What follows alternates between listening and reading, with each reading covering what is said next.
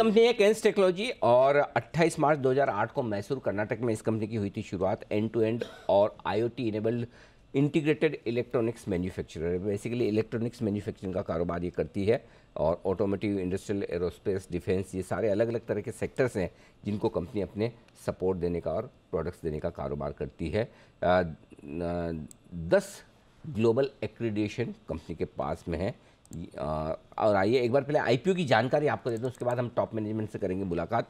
पाँच सौ उनसाठ रुपये से पाँच सौ सतासी रुपये ये प्राइस बैंड रखा है कंपनी ने, पच्चीस शेयरों के लोट में आप अप्लाई कर सकते हैं। मिनिमम एक लोट के लिए आपको देने होंगे चौदह हज़ार छः सौ पचहत्तर रुपये ऊपरी प्राइस बैंड पर।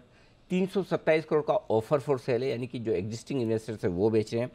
नया इशू जो आ रहा है 530 करोड़ रुपए का, वो कंपनी के पास पैसा जाएगा, यानी कि इशू की साइज़ हो गई करीबन करीबन 850 करोड़ के आसपास और 3400 करोड़ के आसपास का हो गया कंपनी का मार्केट कैप। आइए, दो खास मेहमान मेरे साथ कार्यक्रम में हो रहे हैं शामिल। सबसे पहले तो मुलाकात करते हैं कंपनी के एमडी हैं, रमेश कुनिकन्नन साहब हैं, जो प्रमोटर भी हैं। एन आई ई मैसूर से इलेक्ट्रिक, इलेक्ट्रिकल इंजीनियर्स में आपने बैचलर्स की डिग्री हासिल की है। इलेक्ट्रॉनिक मैन्युफैक्चरिंग इंडस्ट्री में तैंतीस साल का थर्टी थ्री ईयर्स का बड़ा लंबा और गहरा अनुभव सर का है। और कंपनी की ग्रोथ की स्ट्रेटजी आप बनाते हैं। और दूसरे खास मेहमान हमारे साथ है कंपनी के सीएफओ जयराम परवस्तु संपत साहब हैं। वो भी आईआईटी मद्रास से मैकेनिकल इंजीनियर्स में आपने बैचलर ऑफ़ टेक्नोलॉजी की डिग्री ली है। आई एम अहमदाबाद से वाह। मैनेजमेंट में पोस्ट ग्रेजुएशन किया है। गज़ब। मैन्युफैक्चरिंग ऑपरेशन सेल्स मार्केटिंग में तीस साल से ज़्यादा का गहरा अनुभव संपत सर का भी है। और टीवीएस ग्रुप में भी आप वाइस प्रेसिडेंट रह चुके हैं। आप दोनों का बहुत बहुत स्वागत है। आ, आप दोनों से मैं सर सवाल हिंदी में पूछ रहा हूँ। आप आराम से हिंदी इंग्लिश जो लैंग्वेज आपको कंफर्टेबल लगे सर उसमें जवाब दे दीजिए। और इनकेस आप सवाल ना समझ पाएँ तो प्लीज़ मुझे बताइएगा। मैं इंग्लिश में उसे रिपीट करके पूछ लूँगा लेकिन दर्शकों की समझ के लिए मैं सवाल ज़रा हिंदी में आपसे पूछ रहा हूँ तो एमडी सर रमेश सर सबसे पहले आपके पास आता हूँ। एग्जैक्टली समझाएँ सर क्या आपकी कंपनी डिफेंस से जुड़ा हुआ कारोबार करती है? बिज़नेस मॉडल क्या है? आप प्रोडक्ट्स बनाते हैं या सर्विसेज़ देते हैं? एक बार जरा बिज़नेस मॉडल के बारे में एक्सप्लेन करें sir our services are PCB assemblies box build and cable assemblies okay we do ODM business we do OEM business we also do aftermarket sales service business. Okay. हमारा जो कारोबार है ये diversified कारोबार है। काफ़ी सेक्टर्स में काम करते हैं, जैसे कि ऑटोमोबाइल के लिए जो भी इलेक्ट्रॉनिक्स है वो हम बनाते हैं इंडस्ट्रियल सेक्टर में, जैसे पावर इलेक्ट्रॉनिक्स हुआ एनर्जी हुआ कंट्रोल सिस्टम्स हुआ इंस्ट्रूमेंटेशन हुआ, ये सब में हम लोग इलेक्ट्रॉनिक्स का बहुत डिज़ाइन भी करते हैं और डिज़ाइन एंड मैन्युफैक्चर भी करते हैं। और जैसे आपका रेलवे सिग्नलिंग हुआ, जैसे मेट्रो की सिग्नलिंग हुई और मेन लाइन की सिग्नलिंग हुई, उसके पूरे प्रोडक्ट्स हम लोग तैयार करते हैं यहाँ और उसके बाद एरोस्पेस एंड डिफेंस जैसे कि एयरक्राफ्ट में जो एवियोनिक्स लगता है और डिफेंस में जितने भी डीआरडीओ हमारी संस्थाएँ हैं, उन सबको हम लोग मैन्युफैक्चरिंग एंड डिज़ाइन का सपोर्ट देते हैं। मेडिकल में हम लोग काफ़ी डिवाइसेस बनाते हैं। हॉस्पिटल की डिवाइसेस हुई या पर्सनल प्रोडक्ट्स हुआ, जैसे कि ग्लूकोमीटर वगैरह, या आपका टेस्टिंग इक्विपमेंट जैसे हिमेटोलॉजी ब्लड का टेस्टिंग करते हैं कोविड टेस्टिंग करते हैं। आपको एक बात बता दूँ मैं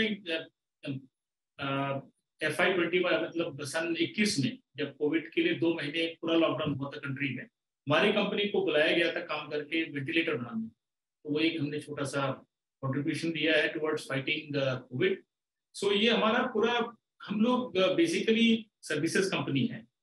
बट uh, हम लोग धीरे धीरे सोल्यूशन में भी uh, हमारे सोल्यूशंस को ला रहे हैं। सो so, हम अबाउट नाइन्टी परसेंट बिज़नेस जो है मैन्युफैक्चरिंग है। दस परसेंट बिज़नेस जो है हमारा खुद का डिज़ाइन और मैन्युफैक्चरिंग है। और ये नाइन्टी परसेंट बिज़नेस में uh, uh, कुछ बिज़नेस है जो प्रिंटेड सर्किट बोर्ड असेंबलीज का बिज़नेस है और कुछ है जो कंप्लीट प्रोडक्ट का बिज़नेस और हमारा डाइवर्सिफाइड पोर्टफोलियो है।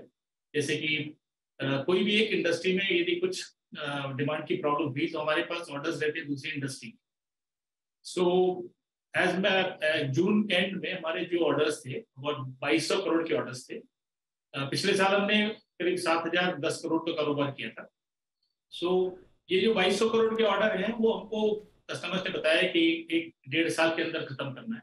अच्छा। सो so, एक एक अच्छा डाइवर्सिफिकेशन की वजह से बिज़नेस को एक अच्छा स्टेबिलिटी मिलता सर आप ये कह रहे हैं कि मार्च 22 में 700 करोड़ की आपकी टॉप लाइन सेल्स है राइट और इक्कीस सौ बाईस सौ करोड़ की ऑलरेडी आपके पास ऑर्डर बुक है वो आप डेढ़ साल में कंप्लीट करेंगे। यानी कि इतनी तो ऑर्डर विजिबिलिटी क्लियर कट अभी है एग्जीक्यूशन भी आपको कर ही लेना है।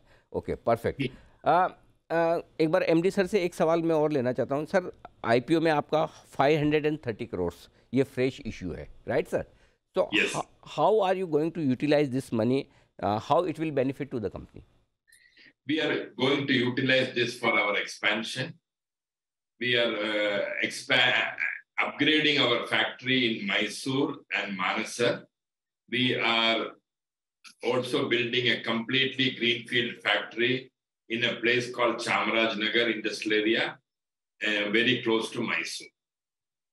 We will be doing 100 crores for uh, uh, upgrading and 130 crores for um, building a completely new factory. So put together 250 crores will be for that. Another 130 crores we will be uh, paying back our loans to the bankers and another 120 crores is meant for uh, corporate activities. This is the plan we are having.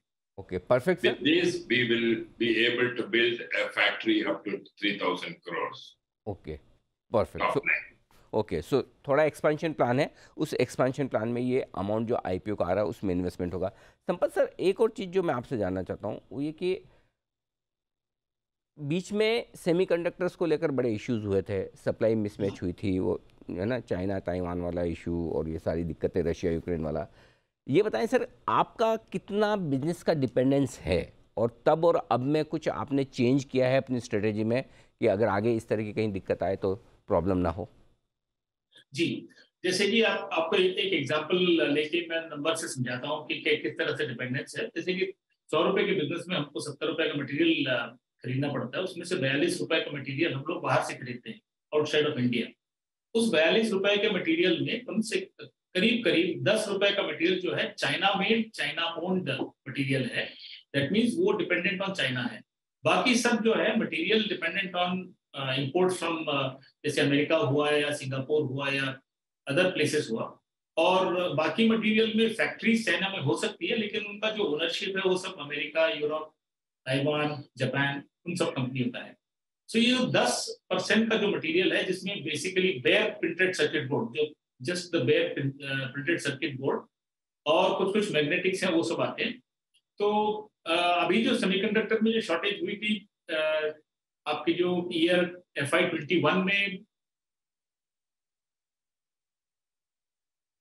और उसको दो तरह से देखा जा सकता है। एक है कि स्पॉट परचेज के प्राइसेस बहुत ज़्यादा हो गए हैं अभी। तो इसीलिए हमको ज़्यादा प्लानिंग करना पड़ता है और हमारे पास हमने कस्टमर से बात करके उनको ये कह रखा है कि आप फ्यूचर का ऑर्डर भी दीजिएगा ताकि शेड्यूल करके हम लोग उसको ऑर्डर करके जो है उसका जो कॉस्ट है उसको कम कर सके। एंड अवेलेबिलिटी भी प्रेफरेंस उनको मिलता है जो पहले से ऑर्डर दे रखा है जिन्होंने। इसीलिए हमारे पास डेढ़ साल का ऑर्डर बुक है अभी। तो इसीलिए डेढ़ साल पहले हमने ऑर्डर कर रखा है। तो इसलिए हमको थोड़ा मिटिगेशन होगा ज़रूर सप्लाई में। बट जो ग्लोबल सिचुएशन है वो किस तरह से वो कहते हैं ना ऊट किस करवट बैठता है उसके बारे में कह नहीं सकते हैं तो इसीलिए हमारे हमने एक स्टेप लिया है कि थोड़ा इन्वेंट्री ऑफ़ क्रिटिकल पार्ट थोड़ा ज़्यादा रखें हम लोग। तो जितना हो सके हम लोग supply base outside of China से किसी तरह से लिया जाए।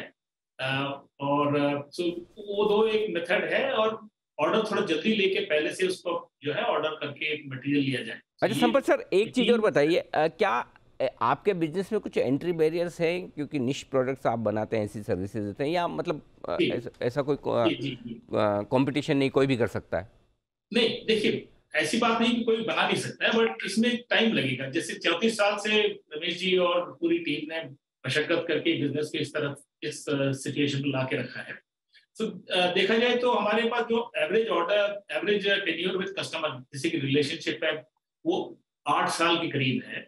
और हमारा जो पहला कस्टमर है वो अभी भी हमारा कस्टमर है। चौंतीस साल पहले जो कस्टमर था दो कस्टमर थे वो दोनों अब आज भी कस्टमर है। तो इसमें जो है लॉन्ग रिलेशनशिप लगता है कस्टमर के साथ। तो कुछ भी एक प्रोडक्ट को डेवलप करके मैन्युफैक्चर करके सीरियल प्रोडक्शन करना है तो कम से कम अठारह महीने से करीब दो साल का टाइम लगता है। तो उस, और उसको इमीडिएटली कोई शिफ्ट नहीं कर सकते दूसरी चीज़ एंट्री बैरियर में ये है कि हमारे पास दस ग्लोबल सर्टिफिकेशन आपने बात की थी क्वालिटी सिस्टम्स की, वो बहुत कम लोगों के पास है। और वो जो ग्लोबल क्वालिटी सर्टिफिकेशन बहुत ज़रूरी है हमारे जैसे बिज़नेस के लिए बिकॉज़ हम mission critical high tech high technology high complexity product बनते हैं। तो उसमें वो एक बैरियर हो जाता है। तो तीसरी चीज़ ये है कि किसी चीज़ के, किसी चीज़ के लिए मेच्योरिटी चाहिए ऑर्गेनाइजेशन में। तो जैसे हमने सिग्नलिंग सिस्टम साल 2000 में चालू किया था। तो बाईस साल हो चुके हैं हमको करते हुए। तो ऐसे ही बाकी रेलवे प्रोडक्ट है मेडिकल प्रोडक्ट है और ऑटोमोटिव हमारा सबसे यंग यूनिट है, जिसमें आठ साल से हम कर रहे हैं। सो ये जो बहुत इम्पोर्टेंट